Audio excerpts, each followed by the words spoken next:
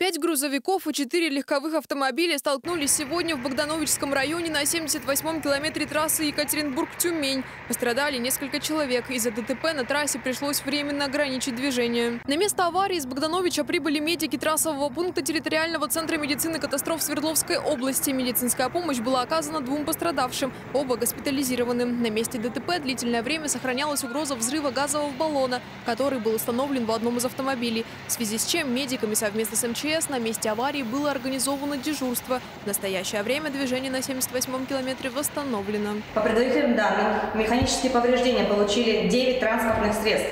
Два человека в настоящий момент доставлены в больницу. Органами внутренних дел по данному факту назначено проведение проверки, по результатам которой будет принято обоснованное процессуальное решение.